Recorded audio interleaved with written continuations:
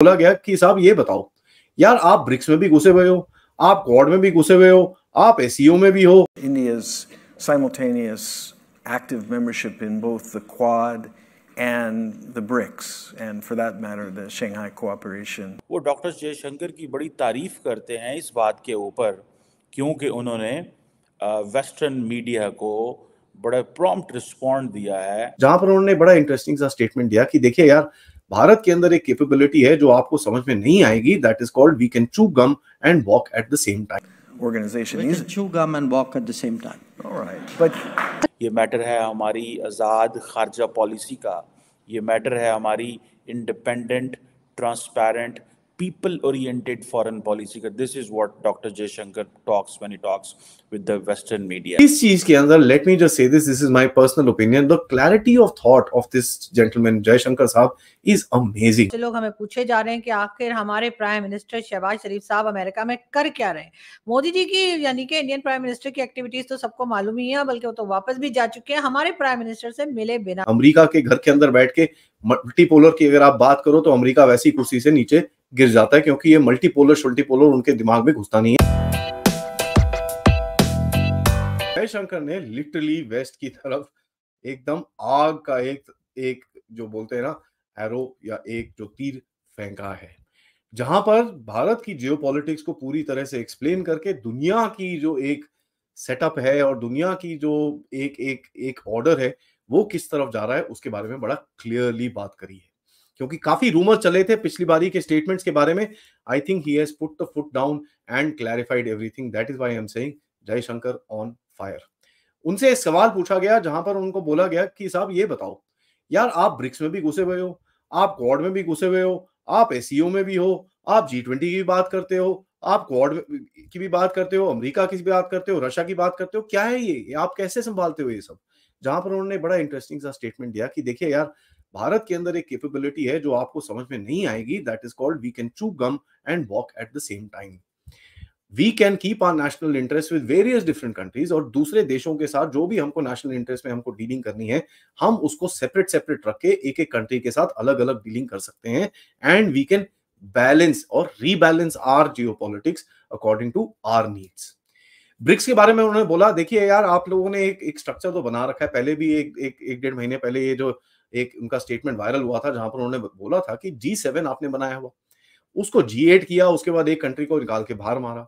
दूसरे लोगों को आप घुसने नहीं देते हाँ हमको वहाँ पर आप एक यू नो इनवाइट इनवाइट कर देते हो, लेकिन जी सेवन के अंदर आप एंट्री किसी को देते नहीं हो।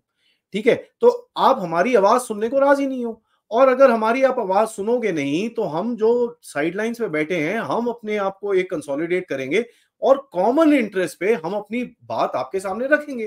That is exactly what is BRICS देखिए ये चीज़ बड़ी इंटरेस्टिंग है क्यों, क्योंकि दुनिया की तीन मेजर पावर्स हैं जो जी सेवन के अंदर नहीं आती है which is Russia India and China लोग इसको आरआईसी भी बोलते हैं। नाउ ये तीन powers these are great powers of the world जो आप इन चीज़ों के अंदर, इन इन जो you know global decision making के अंदर आप इनको कंसिडर ही नहीं करते हो। तो आप नहीं करो तो हमको फिर ऑब्वियसली एक ब्रिक्स का कुछ एक प्लेटफॉर्म बनाना पड़ेगा, जो काफ़ी पॉपुलर हो रहा है दुनिया के अंदर, जहाँ पर एक आवाज़ उठाने की प्लेटफॉर्म है, जहाँ पर हम अपने आप अपना काम कर सकते हैं और आपकी जो एक एक रेजिमेंटेड हायराकी दुनिया में आपने बना रखी है, उसके अंदर अगेंस्ट हम आवाज़ उठा सकते हैं। Now that can be in financial sector in trade sector in defence in cooperation in multilateralism in whole lot of things इसके अंदर देखिए, एक ही फैक्टर है जो अपनी दुनिया अपने आप चलाता है which is China that's why BRICS के अगेंस्ट में थोड़ी सी हेजिटेंस रहती है. But in any case common interest को देख के, दुनिया के जो कॉमन इंटरेस्ट आज हैं, क्या है? Is the reform of the global world order जिसके बारे में मोदी साहब ने भी बात करी. रिफॉर्म टू रिमेन रेलिवेंट करके उन्होंने एक चीज़ बोली. और ये बारे में तो जयशंकर जी काफ़ी टाइम से बात कर ही रहे हैं. तो देखिए यार we can handle this stuff तो ये इन्होंने बोला कि साहब, ये डिफ़िकल्ट है but it is doable and because जो एक स्ट्रक्चर दुनिया का अभी आगे निकल रहा है which is called the age of treaty alliances जो नेटो सीटो सेंटो पेंटो चेंटो पता नहीं क्या क्या बना रखा था इन लोगों ने, वो जो एज है, वो खत्म हो चुकी है। पीपल डू नॉट अप्रिशिएट आपकी जो अलायंस अलायंस पार्टनर्स और हर चीज़ में आप बोलते हो सिग्नेचर करो, तब जाके हम आगे जाएँगे। इसका एग्ज़ाम्पल उन्होंने क्वाड में लिया। उन्होंने बोला, देखिए क्वाड एक ऐसी ऑर्गेनाइजेशन है, जिसके अंदर कोई formal treaty alliance treaty sign नहीं हुई है। तो हमारे जो चार कंट्रीज़ हैं, उसके कॉमन इंटरेस्ट हैं, उसमें हम पार्टनर करते हैं और जिसके अंदर हमारे इंटरेस्ट नहीं है, हम उनकी बात नहीं करते। क्योंकि कॉमन इंटरेस्ट में अगर हम पार्टनरशिप लगाएँगे तो हम लोग चारों कंट्रीज़ एक डायरेक्शन में आगे जा सकते हैं। अदरवाइज़ क्या होता है, अगर आप पूरी रिलेशन का स्टेक उसके ऊपर डाल देते हो तो फिर डिसएग्रीमेंट ही चलता रहता है। यहाँ पर उन्होंने बड़ा क्लियरली बोला कि देखिए ट्रीटी अलायंसेस और एक यूनिपोलर ऑर्डर है, जहाँ पर अमेरिका सबका सबका बाप दादा है, वो अभी नहीं है एंड वो नहीं चलेगा। So this is a very very interesting statement अगर आप देखें, क्योंकि काफ़ी हद तक अमेरिका ये एक ट्राई कर रहा है एज अ डिक्लाइनिंग कंट्री की भाई अपनी उसकी जो हेजमनी है, वो एक तरह से मेंटेन रहे।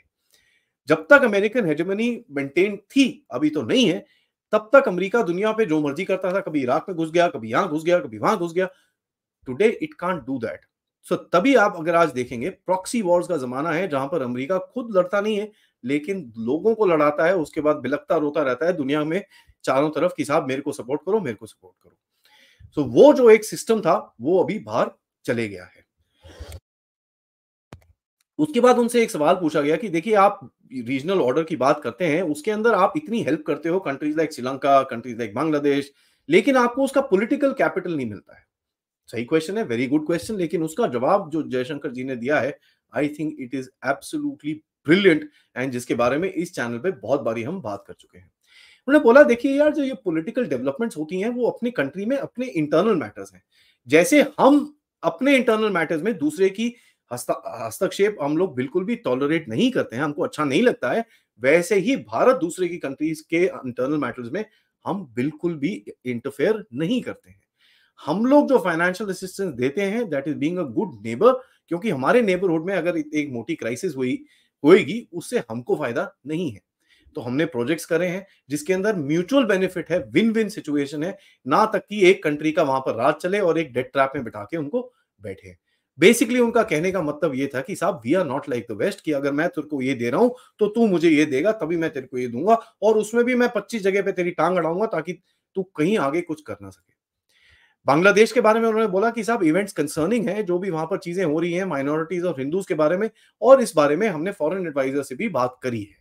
रिसेंटली कल इनकी फॉरेन एडवाइजर के साथ मीटिंग हुई थी, लेकिन मोदी साहब ने, यूनुस तो काफ़ी कोशिश करता रहा कि मोदी साहब के साथ एक मीटिंग हो, वो नहीं हुई। इस चीज़ के अंदर let me just say this this is my personal opinion the clarity of thought of this gentleman Jaishankar साहब इज़ अमेजिंग एक और स्टेटमेंट मैं आपको दिखाता हूँ, जहाँ पर आपको क्लैरिटी ऑफ़ थॉट दिखेगा। This is just outside this particular discussion उन्होंने बोला कि era of uninterrupted dialogue with Pakistan is over actions have consequences, and so far as JNK is concerned, article 370 is a dead duck. ये इन्होंने 15-20 दिन पहले बोला था। This is called clarity of thought बिल्कुल भी कोई स्कोप नहीं है। भैया, ये हमारी पॉलिसी है पॉलिसी है पॉलिसी है। आपको पसंद है, ठीक है, नहीं पसंद, भाग जाओ यहाँ से। हमको कोई फ़र्क नहीं पड़ता। डॉक्टर जयशंकर की बड़ी तारीफ़ करते हैं इस बात के ऊपर, क्योंकि उन्होंने वेस्टर्न मीडिया को बड़ा प्रॉम्प्ट रिस्पॉन्ड दिया है कि ये मैटर है नेशनल डिग्निटी का, कि हम जहाँ से मर्ज़ी ऑयल ख़रीदें। ये मैटर है स्ट्रेटजिक इकोनॉमी का। ये मैटर है हमारी आज़ाद खारजा पॉलिसी का। ये मैटर है हमारी independent transparent people oriented foreign policy. This is what dr jaishankar talks when he talks with the western media